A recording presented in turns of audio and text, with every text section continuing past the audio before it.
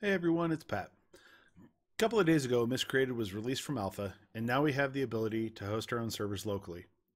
I decided to make a video on it, walking you through the steps necessary to get one up and running. The first step you'll need to do is open up some ports on your router.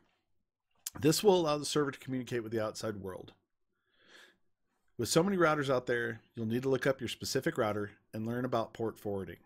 It's really not that difficult, just follow the directions on how to do it for your specific router. I have a Netgear router, and the page looks something like this. Forward port 64090 through 64094. This will open up the three ports, plus one port to set up RCON later. Once you have your ports forwarded properly, you can begin the process of installing your server. I know there is a tool that you can download from Steam, but I really haven't used it yet, so I'm not covering it here. Next, you need to go to the root directory of the drive that you wish to use for your server. I have mine on drive D, so I'm going to be using that as an example. Once in the root directory, make a folder called Steam CMD. Next, follow the link below. It will take you to the Valve development page and download the steamcmd.zip file. The website is very easy to navigate, so you shouldn't have any problems.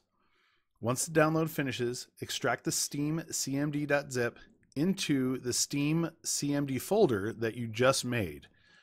Once it's extracted, run the exe file. It will open a shell and install the Steam command files.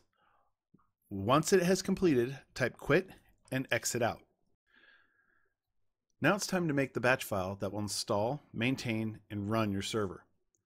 You will use this batch file every time you start your server create a new folder for your server in the root directory of the same hard drive that you made the Steam CMD folder in.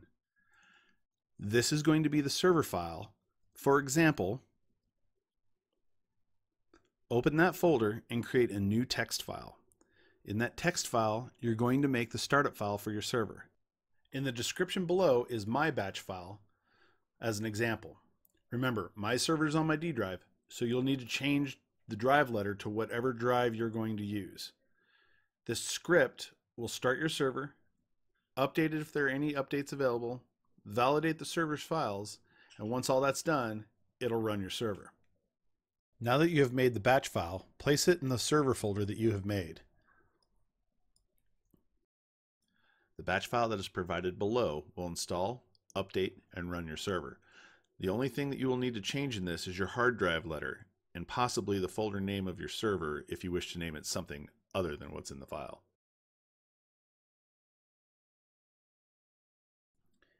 So now the time has come. You're going to run your batch file that you just made. Double click on it. It's going to open up a shell and proceed with the install. Once the install is complete, it will run the server for the first time. Now it's going to take a bit of time to install, so I've sped the video up for time's sake. Once you get to the voice over IP at the bottom of the server shell, the server is up and running. Click on the bracket at the bottom of the screen and type in quit. Be sure to close all the shells down as it's going to try and restart your server. When it completes, you need to make another text file and name it hosting.cfg. This gets placed in the server's folder along with the bat file that you made earlier. The hosting config file is what sets your server's parameters such as time of day, etc. There's a README file that installed in the server's folder that has all the command lines. Be sure to add the ones that you want. You can delete the ones you don't. Also, be sure to delete everything behind the command. The command and the info of what that command does are separated by the dash, so you'll delete everything from the dash on. Well, that's pretty much it for the basics of getting it set up and running. Now I'm sure you want to actually play on it. Well, I hope this helps you. If something doesn't work out out of all this, chances are it's going to be in your port forwarding. If you do like what you see, great. I hope you have fun playing on your own server. Have a great day.